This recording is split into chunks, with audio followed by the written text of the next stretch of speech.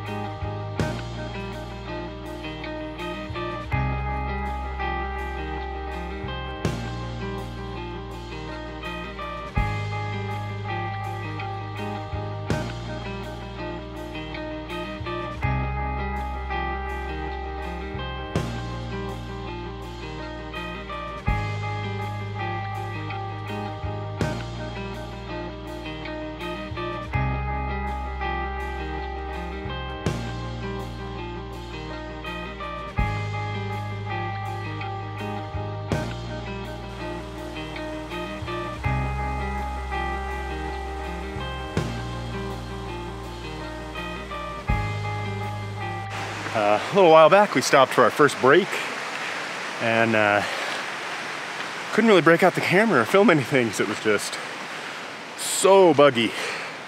We were just immediately overwhelmed with mosquitoes. And the, uh, even the good old jungle juice 100% DEET did nothing. They just ignored it completely. So we're back on the trail and uh, moving along. I hate bugs.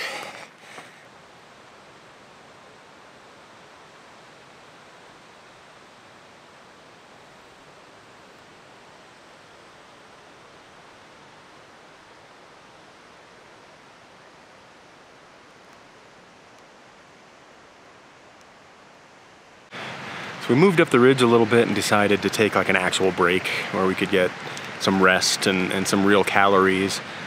Still a little bit buggy, but much more manageable. They seem to be leaving us alone out here on this uh, open ridge. There's not very much moisture around. So hopefully we can catch our breath and fill our bellies and carry on with the day.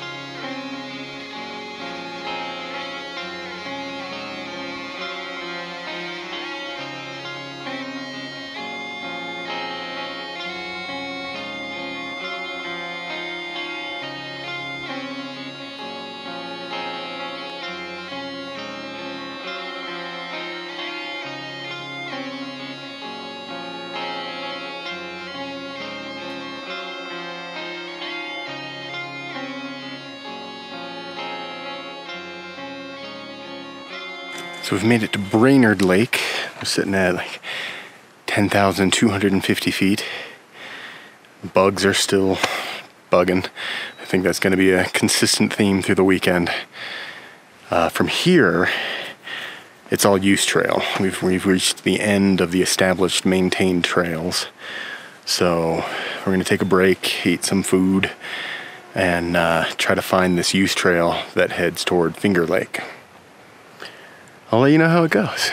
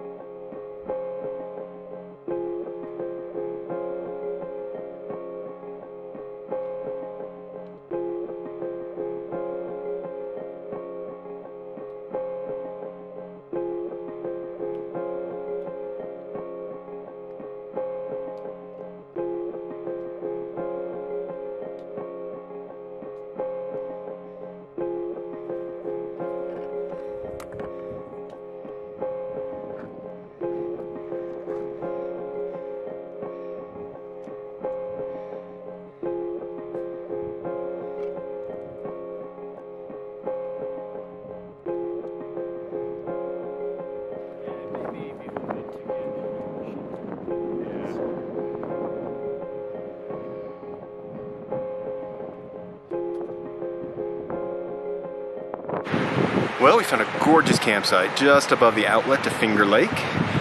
Two perfect tent pads, access to water, gorgeous views. Now it's time to rest and relax and uh, get ready to tackle Middle Palisade tomorrow.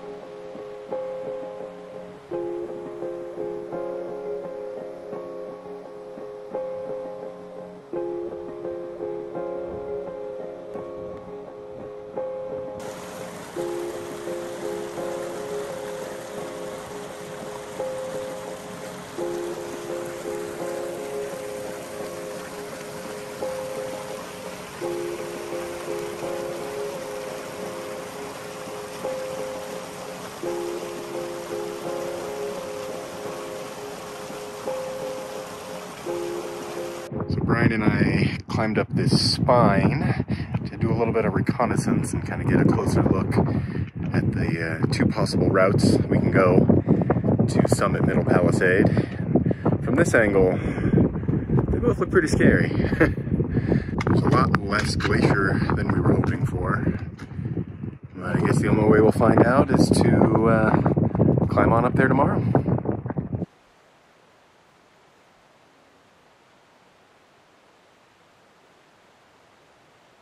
About five in the morning. We're getting up, getting breakfast ready.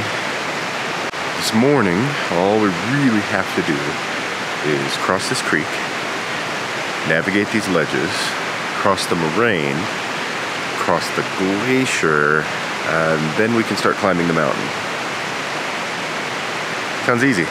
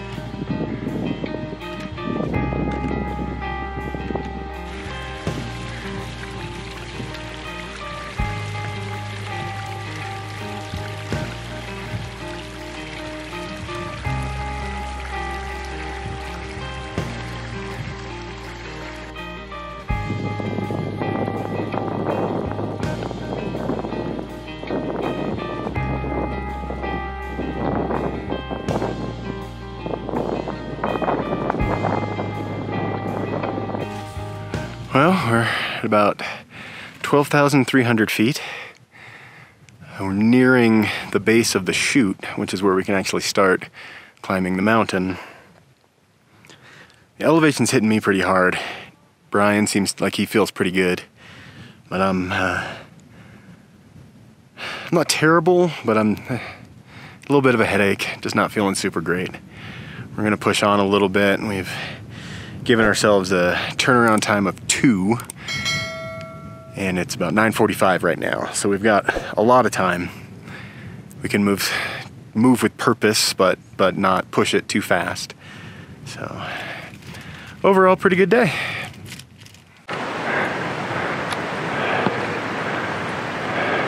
Excuse me?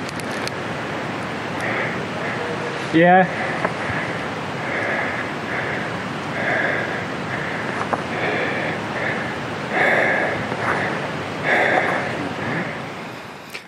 Two routes to get to the top of Middle Palisade. One is kind of commonly referred to as the ledge route, and the other is the red rock route.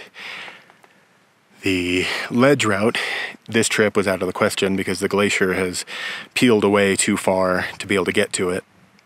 And the red rock route was out of my skill set. Uh, Brian's carrying on. He's going to go ahead and summit and I'm working my way back down off this ridge, find some water and some shade, and I'll wait for him there.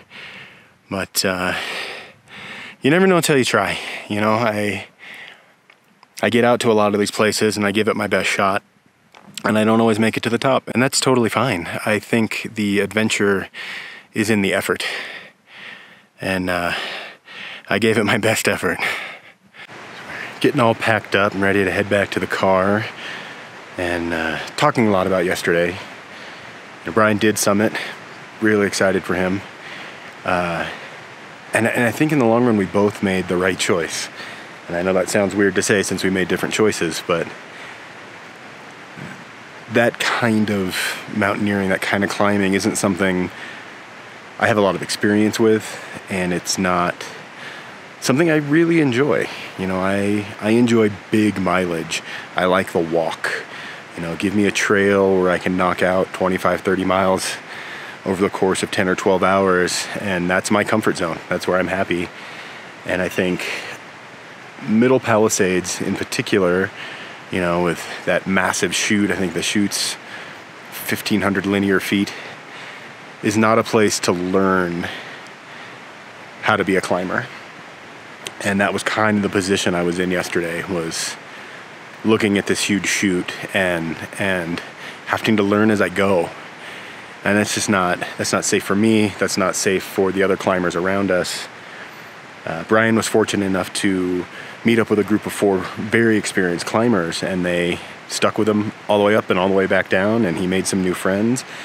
And uh, I think this trip ended perfectly for both of us. Found a gorgeous little campsite just above the outlet for Finger Lake. Uh, two perfect tent pads. It's going to be a three, two, one. Well, we found a gorgeous little campsite just above the outlet for.